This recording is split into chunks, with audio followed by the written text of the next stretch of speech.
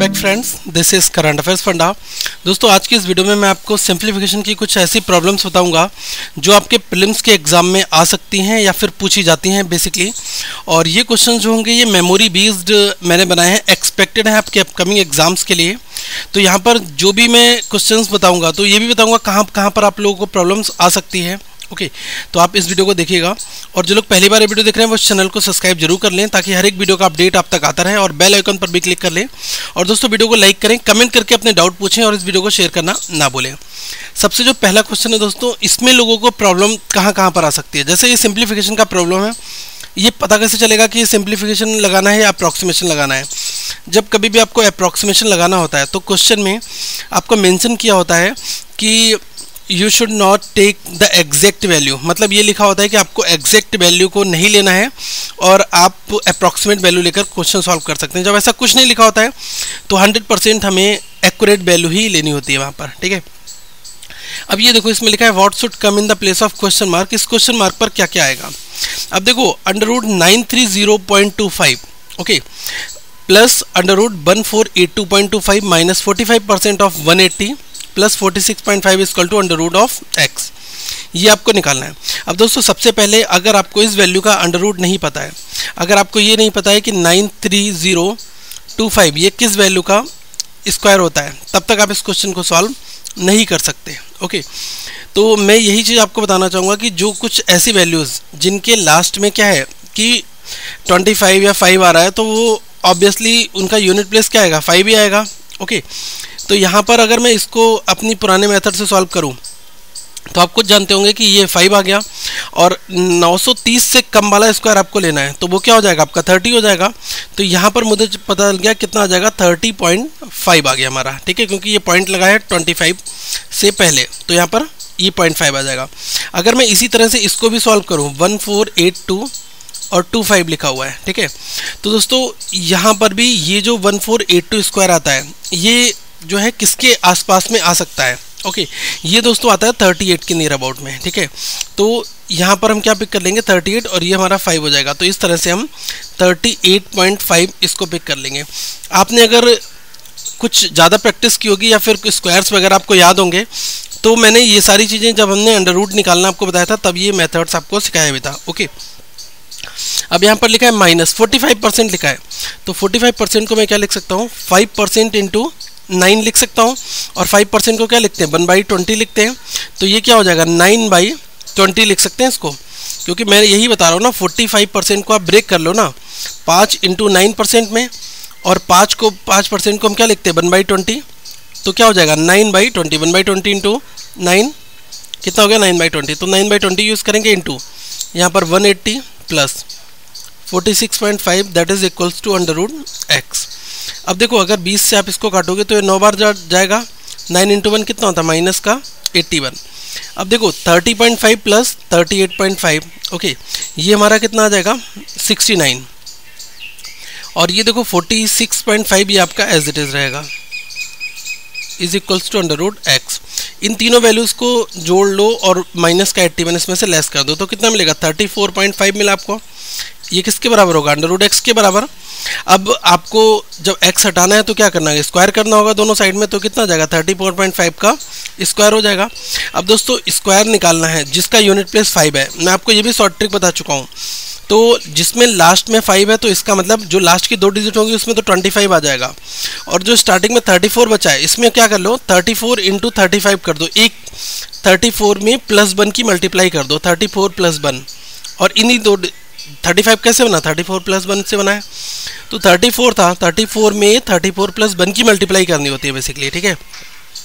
अब जैसे मैं अगर बताऊँ, आपको पचहत्तर का निकालना है तो पाँच का क्या हो गया? ट्वेंटी फाइव हो गया। आप सात में एक अगला नंबर क्या होता है? आठ। आठ इंटू सात छप्पन होता है। तो देखो फाइव सिक्स टू फाइव आ गया। ये मेथड मैं बता चुका हूँ।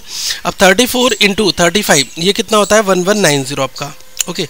तो ये कितना होता है? वन वन नाइन ज़ीरो और ये आपका कितना आया? फाइव का यूनिट प्लस ट्वेंटी फाइव आ जाएगा तो ये आपका आंसर यहाँ पर बन जाएगा।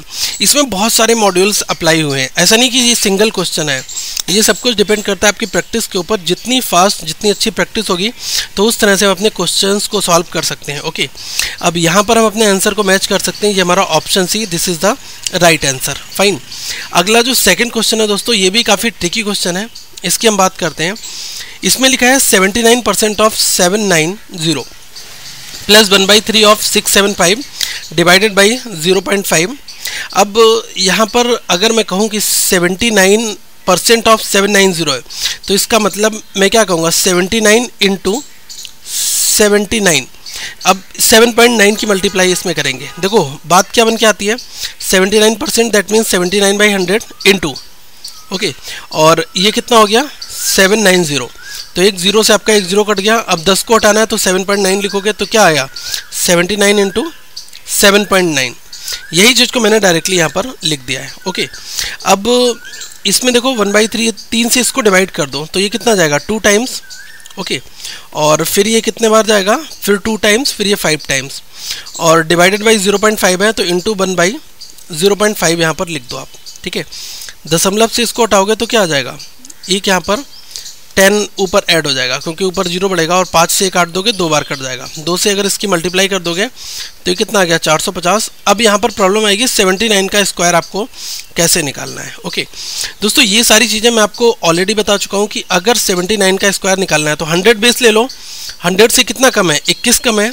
21 का स्क्वायर कितना होता है? चार सौ इकतालीस होता है, ठीक है? तो मैं क्या करूँगा? फोर फोर वन को यहाँ पर लिख लूँगा। अब 79 में से 21 को अगर आप लेस करते हो तो कितना मिलेगा? 58 आपको मिलता है। तो यहाँ पर दो डिजिट लिखो, केवल 41 दो डिजिट मैंने नोट कर लिए और फोर को आप इधर शिफ्ट कर दो। तो 58 एट प्लस फोर कितना हो गया? 62 तो अल्टीमेटली कितना रिज़ल्ट बन गया? Six two four one six two four one और यहाँ पर एक अंकों के बाद दशमलव है वन पॉइंट के पास मैंने डेसिमल लगा दिया। Six two four point one plus four five zero हो गया। इसको ऐड करोगे कितना आ जाएगा? One zero seven four point one इस तरह से हम अपने इस क्वेश्चन को भी सॉल्व कर सकते हैं ओके थर्ड क्वेश्चन काफ़ी इंपॉर्टेंट है। कई बार आपके एग्ज़ाम्स में पूछा भी जाता है इस तरह का प्रॉब्लम कभी भी इस तरीके की प्रॉब्लम हो तो आपको एक एक करके इंडिविजुअली मल्टीप्लाई नहीं करनी। आप, अगर आपने मल्टीप्लाई कर दिया 19 into seven plus one by seven कर दिया तो वहाँ पर आपका क्वेश्चन फंस जाएगा। आप क्या करो, इसमें जो कंप्लीट पार्ट है और जो फ्रैक्शन पार्ट है, इन दोनों को कंबाइन कर लो। अब जैसे यहाँ पर क्या है 19 प्लस 26 इसके साथ में माइनस का नाइन है। और इसके साथ में प्लस का फाइव है। इसको मैंने एक ब्रेकेट में कर लिया प्लस रिमेनिंग पार्ट को एक ब्रेकेट में कर लो one by seven plus two by three minus one by three plus one by seven इसको मैंने एक पार्ट में कर लिया। अब क्या करो, इन सबको एक साथ जोड़ दो। ये कितना आ जाएगा? आपका फोर्टी वन आ जाएगा, क्योंकि छब्बीस और उन्नीस और पाँच, ये पचास होता है, पचास में से नौ को घटाओगे, इकतालीस बचेगा प्लस अब यहाँ पर सेवन थ्री थ्री सेवन है तो मतलब कि एलसीएम कितना आ जाएगा? ट्वेंटी वन आ जाएगा। Seven into three twenty one कर लो डायरेक्टली तो सात से अगर आप इसको काटोगे, तीन बार जाएगा, ऊपर तीन आएगा प्लस तीन से सात बार, सात इंटू टू चौदह माइनस ये यहाँ पर केवल सात आएगा प्लस यहाँ पर तीन आ जाएगा।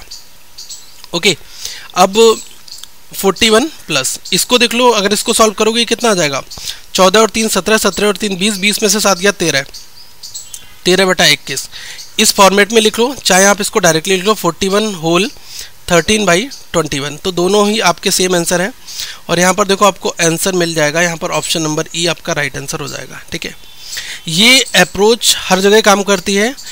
आप ये मत सोचना कि आपको एक बार सेवन दिया, एक बार थ्री दिया होगा, फिर एक बार नाइन दिया होगा, एक बार एट दिया होगा।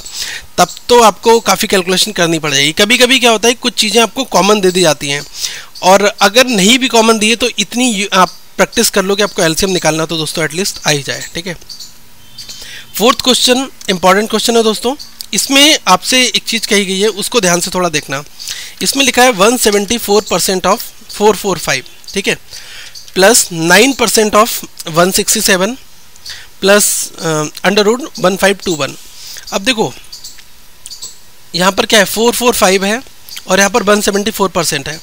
तो बात तो बराबर है, मैं ये कह दूँ फोर, अगर मैं इसको कहता हूँ four four, five percent of, four four, five percent of one seventy four, अगर मैं ये बात कह दूँ, तब भी यही बात रहेगी one seventy four percent of four four, five. दोनों चीज़ें बराबर हैं। तो आप क्या करो 445 परसेंट को अगर लिखते हो तो 445 बटा हंड्रेड करना होगा, और इसको पाँच से काटोगे, कितने बार जाएगा? पाँच से आठ बार और पाँच से नौ बार, ये पाँच से बीस बार? तो 445 के स्थान पर क्या यूज़ करेंगे? 89 नाइन बाई ट्वेंटी का हम। तो कितना आ जाएगा? 174 seventy four into eight nine divide by twenty plus nine percent of one six seven है तो क्या कर दो? डायरेक्टली नाइन में मल्टीप्लाई किसकी कर दो? वन पॉइंट सिक्स सेवन की प्लस अब under root one five two one है तो अगर आप इसको रूट को निकालते हो तो ये क्या यहाँ पर आएगा? यहाँ पर आएगा यूनिट प्लेस नाइन और ये थ्री का होगा तो ये थर्टी नाइन यहाँ पर आ गया, ठीक है? तो इस तरह से हम इसको सॉल्व कर सकते हैं। अब अगर आप इसको फर्दर सॉल्व करते हो तो पहले तो आपको ट्वेंटी से इसको डिवाइड करना होगा, फिर मल्टीप्लाई करना होगा। तो यहाँ पर मैं डायरेक्टली लिख दे रहा हूँ, ये आएगा seventy seven seven four point three plus ये कितना आएगा? फिफ्टीन पॉइंट ज़ीरो थ्री और ये हमारा कितना आएगा? Thirty nine is equals to question mark ये आपको कैलकुलेट करना है। अब आप सबको ऐड कर दो। ध्यान रखना कि यहाँ पर पॉइंट थ्री यहाँ पर पॉइंट ज़ीरो थ्री है। तो एक लास्ट में कितना आएगा? पॉइंट थ्री थ्री आएगा। अब आप ऑप्शन देख लो point four three point three three six three six three, seven three. तो इसका मतलब केवल ऑप्शन बी मैच कर रहा है, आपको सारे ऐड करने की ज़रूरत भी नहीं है। ऑप्शन देखकर भी आप क्वेश्चन सॉल्व कर सकते हैं। वैसे अगर आप ऐड करते हो तो आपको कितना मिलेगा? Eight two eight point three three ये आपका राइट आंसर यहाँ पर हो जाएगा।